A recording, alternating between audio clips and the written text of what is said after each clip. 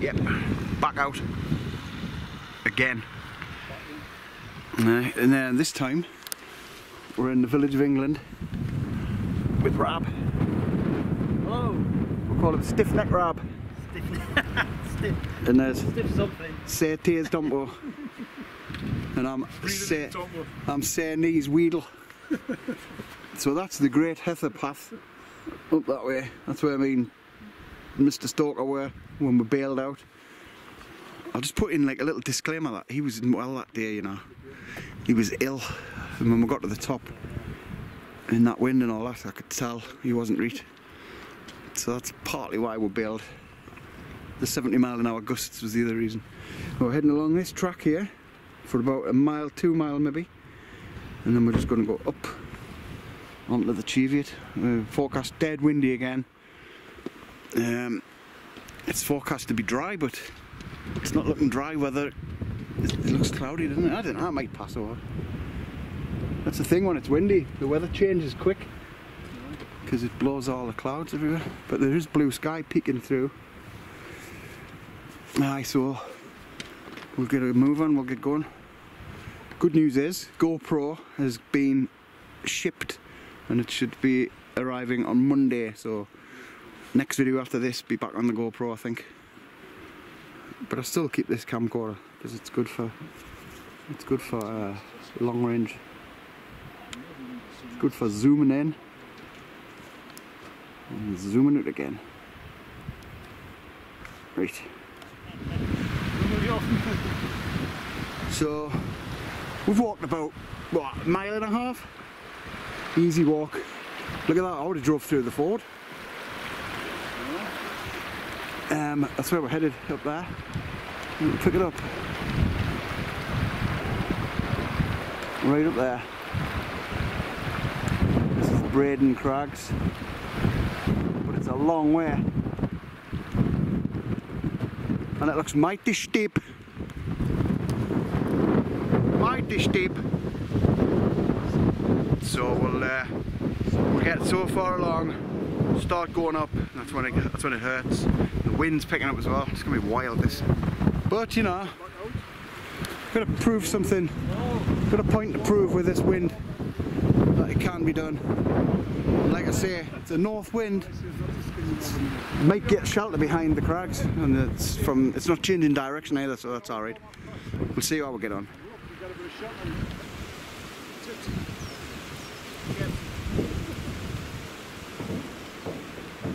Camera's not there. I gotta look mint.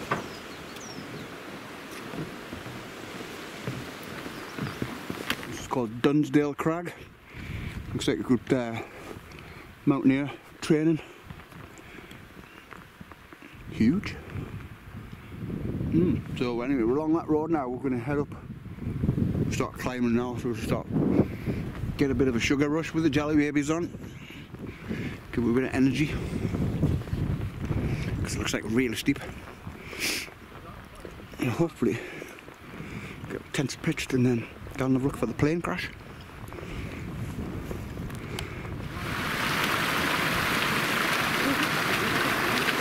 Whoa, it's really slippery. Look at that. Christ, I've not done it for ages either. I might not. Look at that. I mean, it's soaked out. I've not, I've not nick, nick waxed them for fucking ages either. You knew it. Well, that was uh, treacherous. We were nearly killed there. Slip out, like. We were nearly killed. Could have took the bridge, like. Well, there is a bridge there, but we're not. We're adventurous, man. Oh, right. We're survivors.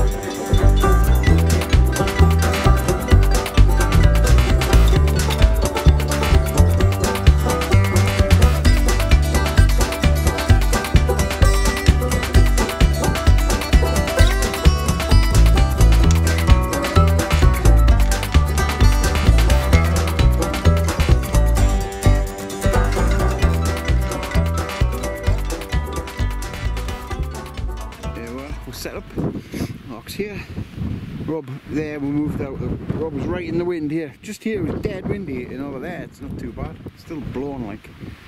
I'm just here, just checking the wind speed.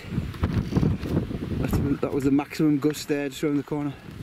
37. So it is windy. Mark's over there. We're just going to go and have a wander across there now. There he is, because we think this is the crash site. So go over there and get all wistful. Canny, canny views. We knew it was going to be windy.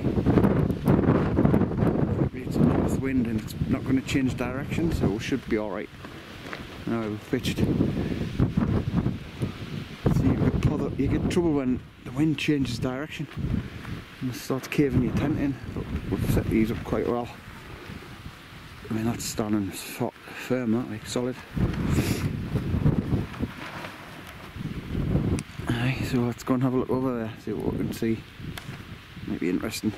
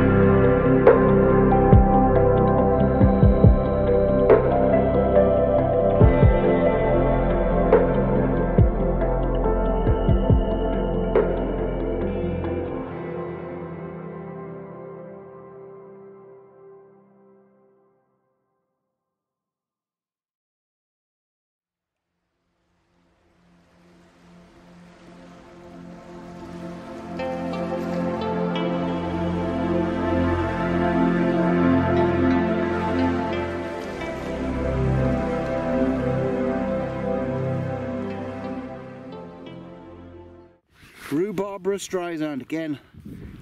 And As I said about that last week, it's lovely that. Very refreshing. Jakehead, Clairvoyance, Brewdog, OG, Clairvoyance and the Transient. All from Morrison's, apart from them two. They were from Rehills. Rehills, Morrison's. I've got some more in the house from Rehills, but the special, these two are not getting them. and for my tea, I've got a Wayfayrer's meal. They've changed the packaging on Chicken tikka and rice, but um, the breakfast me and Rob had this morning, I don't think I'm going to have this. Well, I might. May have it later on. My little stuff. But it's beer o'clock now, so we're gonna we're gonna nestle it in the crags there, nice and sheltered. We'll get a nice little seat made out of these because round the corner there is when I was taking that wind before it was 30 odd mile an hour. But that's this is out of it. That's what you want. A big crag like that to get out the wind. It's spot on like. Always check the wind direction and always check the check the weather conditions. So we knew the weather was there. The wind was going to be northerly wind, and we had a good idea that these crags were here.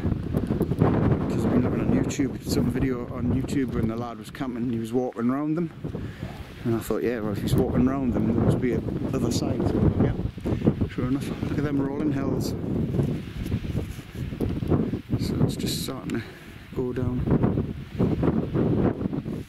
They just go forever them hills like. You can imagine when that plane crashed. And the, um, there were some survivors like.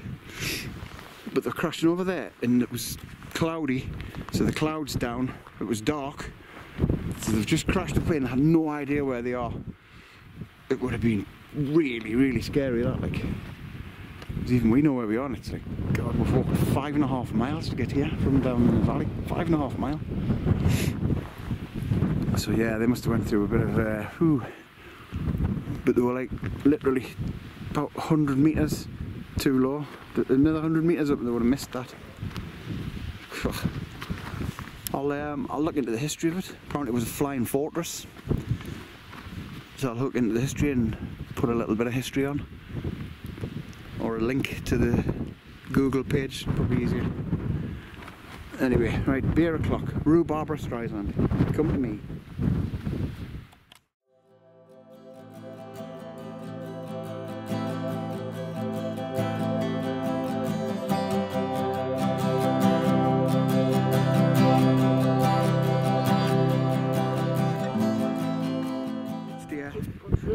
Wind, like it's windy as out, but yeah, we're alright. We've got the tents up. Once you get your tent up, don't worry about the wind. So it's uh, that's the that's the wind channel coming that way. But we are I found this, sat here, like a camping box where I keep Chitty chatting. bits in there, bits of camping. beer on. I a friend that was mine. Okay, good. You know, that's uh, that's not what I thought. Crags.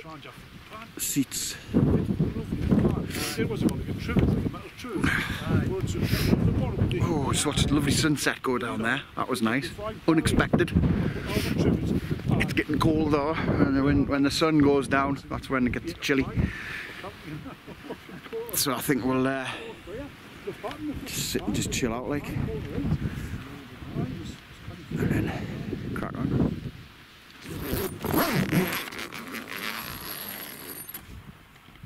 Ah. Morning comes hidey high, nothing loud. Nothing. Nothing. Ooh, dear. After last night's shenanigans.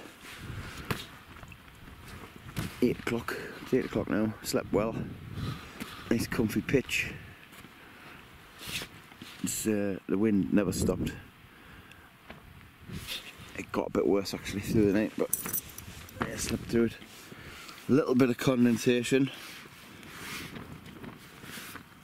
It's not as bad as last week. It's still bad enough. That means I'll have to um, dry it out when I get home. Let's pitch it in my front room. Dries out, alright. We'll just not. We'll just gloss past them. Anyway, gonna get the kettle on. Got my tea. Coffee. Didn't have my tea. Didn't eat, didn't eat that. Wasn't hungry. I had a huge breakfast, which kind of kept us going all day. A few bits and nibbles, and no, I just wasn't hungry. Wasn't feeling it. Still not, to be fair, like I'm not hungry at all. It's a good thing. Get a bit of weight off. Ah, oh, anyway. Let's get on.